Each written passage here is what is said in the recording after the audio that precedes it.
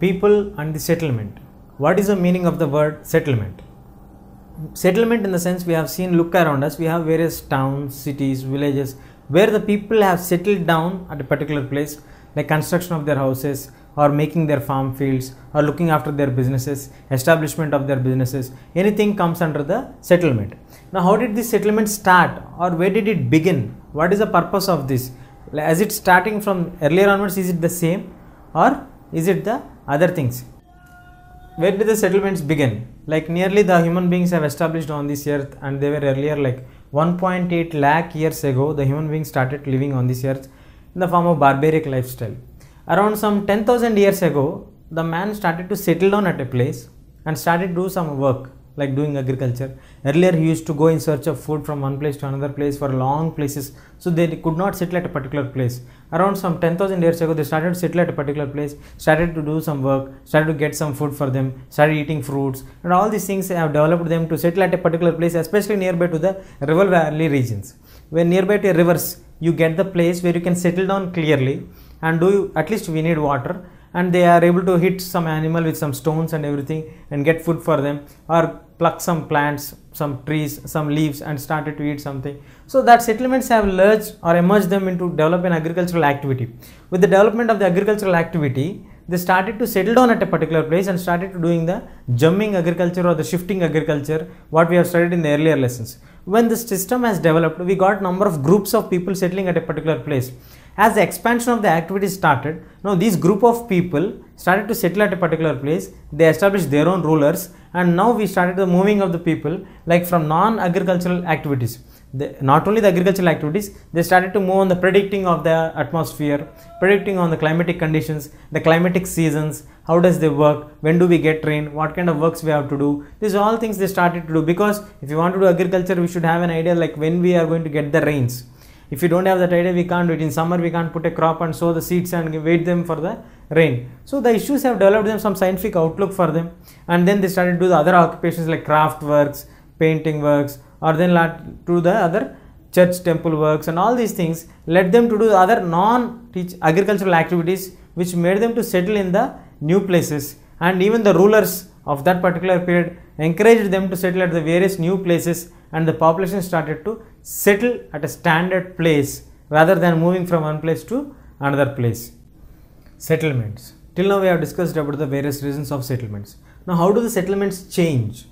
What is the meaning of the word change? Like how do the population move from one place to another place of a particular area? The dynamics change.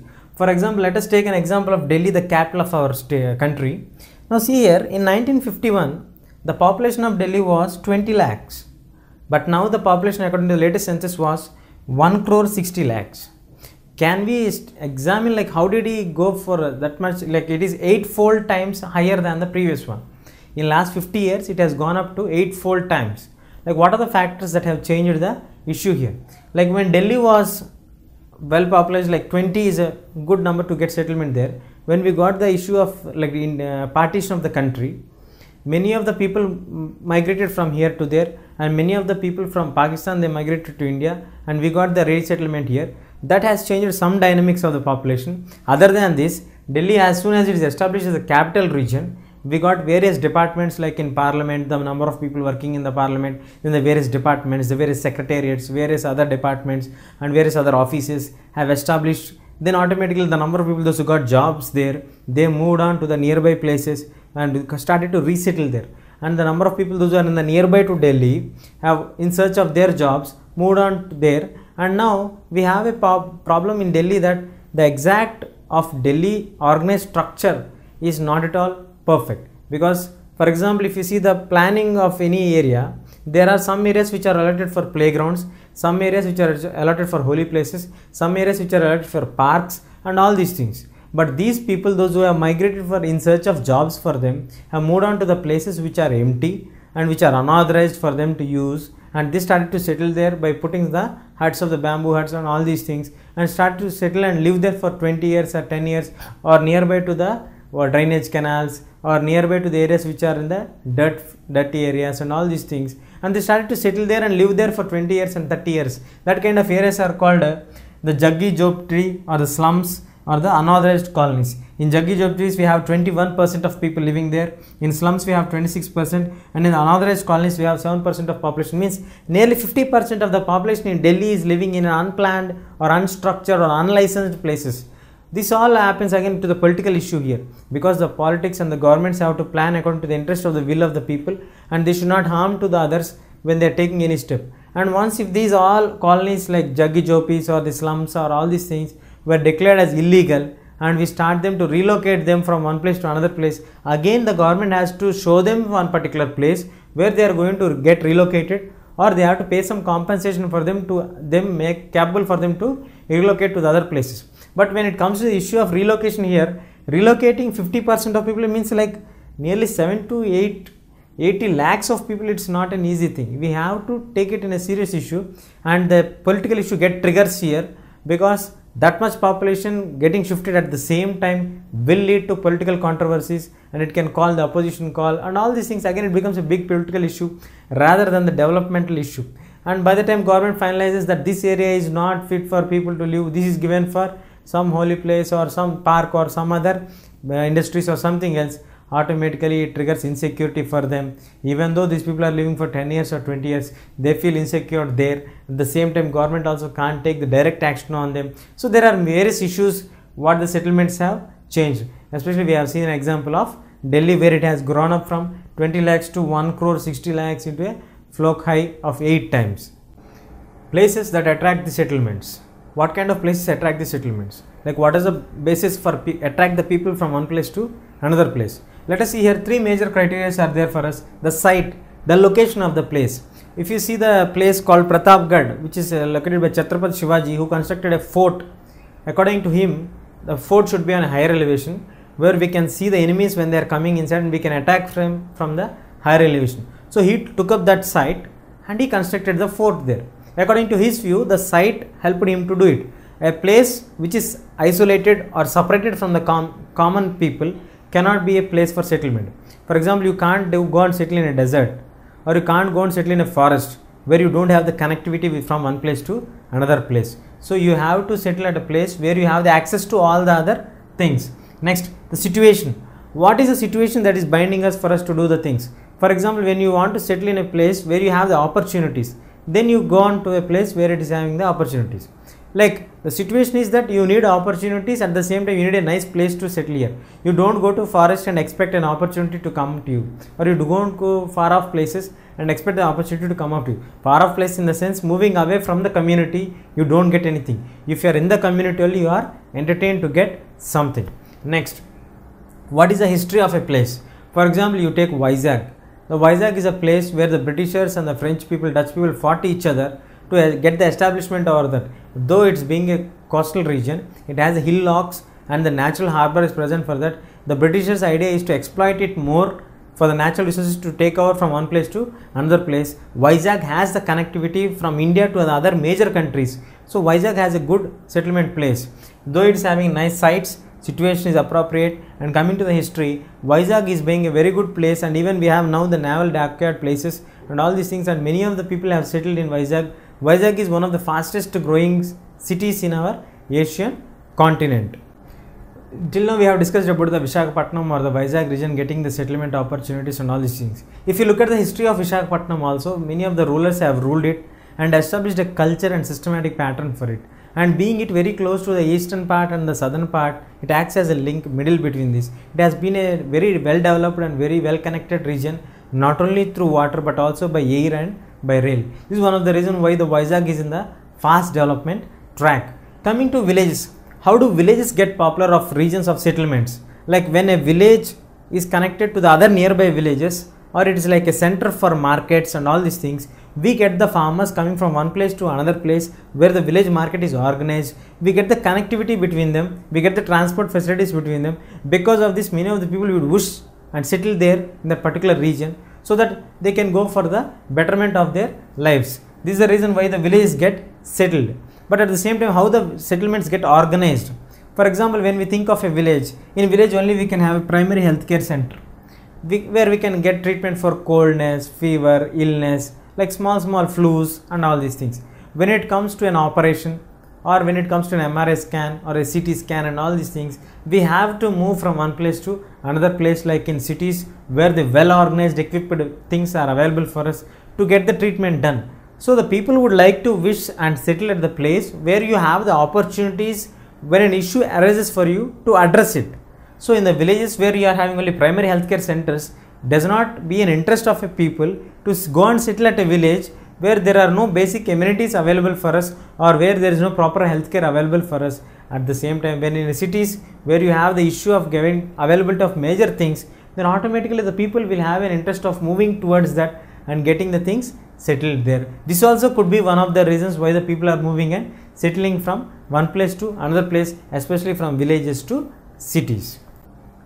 Urbanization. What is the meaning of the word urbanization? Urbanization means here moving of people from village areas to cities areas or the urban areas. Like in technical terms moving of people from rural areas to urban areas.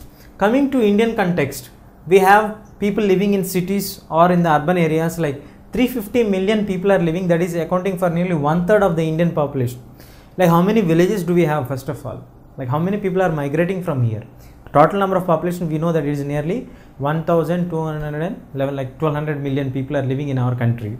So people are migrating from one place to another place. In 1950 when the statistics were taken the number of villages are recorded is 5.6 lakh villages. As it moved on in 2011 the number of villages are registered is 6.4 lakh villages. So the people from these 6.4 lakh villages are moving on to various cities and then they are accommodating into the urban population. So naturally it is an expected trend they move on to the various major big cities. For example, the people of North India tend to move towards to Delhi. If the people of the other regions who are in the central India or in the western India or towards the eastern India which are nearby to Bombay move on to the Bombay region. When the other people it moves on to south they move on to Chennai. If they are in the western part of south they move on to Bangalore region. Like that they move on to the eastern parts they move on to the Kolkata region. So basing on the necessity or basing on the availability or basing on the structure which is nearby to us, people from the village try to explore the opportunities which are in the cities where you can get a better opportunity, better economic living standard and all these things motivated the people to move from the rural areas to the urban areas. This is the major issue of the resettlement of the people from rural areas to urban areas. When the issue is this, in 1950 we have discussed there are only 5.6 lakh villages, now it is 6.4 lakh villages. And the entire population which is accommodating is 850 million. Now not only the four major cities or four metropolitans are getting overpopulated, but the other cities which are compared like above 1 lakh population is nearly 40 cities are growing very soon like we example have here the hyderabad the other places we are expanding very soon and they are getting the opportunities also for the people to meet their requirements. As the situations are moving on in this way from the same to this way the rural to urban areas they are getting in a better organized way they are getting a better living standards for them when they started to move here from lower areas to the higher opportunistic areas we have discussed the urbanization issue of people and settlement. Now, the major issue what we have to address here is the people of SC and ST population are more in the lower levels even in the cities. When compared to the rural areas, they are above than their levels, but when compared to the cities, they are living in the various like slum areas where they don't have the proper basic amenities and where they don't have the proper job facilities and all these things. When the case study was made on this, the percentage of people who are living in the slum areas, more people come from the either SC category or the ST category people. This has to be addressed very soon by the government to take the necessary steps. Now coming to the hierarchy of the cities in our country, we have the various hierarchies growing from the hamlets where a group of people living together which is a part of a village, which is not a village, which is a part of a village. From there to villages where we have the upgradation of the village like a better settlement than the hamlets. From the villages then from villages to towns where it is little bit organized and systematic when it comes to the cities where the population is like little bit 1 lakh and more than 1 lakh like that when it comes to the million plus cities like 10 lakh population and more than that we have the examples of million plus cities like hyderabad chennai ahmedabad and all these places where the see the people of this area move on to the village to their better opportunities. From village they move on to the towns. From towns they move to the cities as cities we have the better opportunities in the other cities like in the million plus cities then they go on to the million plus cities still if they have the better opportunities than that then they go on to the mega cities or the metropolitan higher end of the metropolitan cities that is the mumbai delhi and Kolkata. These are the factors of the hierarchy of the cities of settlements what we have in our country. Now recently we got a new trend of the settlement that is the, the new cities that is airport cities or aerotropolis cities. Aerotropolis cities are nothing but the cities which is located in and around of the airport region. Why the area of airport region is getting more populated recently? Because airport we have constructed recently and the people those are traveling in uh, aeroplanes and all wish to do the things which are nearby to them and move out of the places as soon as it is possible rather than getting stuck in the local transport or the local traffic problems and all these things like we have the issues of like airport cities hotels are constructed nearby to the airport regions. Then we have the food supply for them for the people of uh, traveling. Then business people conducting their conferences and all these things which made them to move on from one place to another place. As soon as they finish their work here they move on to the other places to do their other further works as the time is more valuable for them and that too for the business people it's very valuable. We have the example of the aeropolises like rajiv gandhi international airport in our state like in hyderabad indira gandhi international airport in delhi we have dubai international airport in uae like that we have various other airports which are being accommodating the airport cities. But we have discussed about the various settlements and all these things. Let us discuss the, some of the problems which are arising because of the urbanization. What are the problems that are coming because of the urbanization problems? Generally we have the problem of lack of jobs lack of job security for us. Then coming to the major issues like water can we able to get supply water for all the people in the cities especially those who are migrating one, one place to another place? They don't get the proper settlement. They stay in the slum areas or in the jogi jopades which will not have the proper accommodation don't have proper permissions for them. So they don't have proper roads or infrastructure or healthcare centers or anything for them where they have to pay more to get all these things. Then moving on to the savage. How is the dust or like the waste things to be transported then how is the transportation for them from one place to another place? How can they reach from one place to another place? Because in the major parts of the city only you have the bus routes rotating here and there but into the interior places you don't have them. And coming to the air pollution. In the urban areas we have a lot of air pollution for us. What we can't do is as more number of vehicles are used on the roads of the urban areas that leads to a lot of air contaminated because of carbon dioxide carbon monoxide and all these things. So there are various health issues yes people are getting a better opportunities when compared to the villages and the other places but they need to get the address. These health issues also those are moving to the urbanizations at the end of the day all are indians and should be taken care for them properly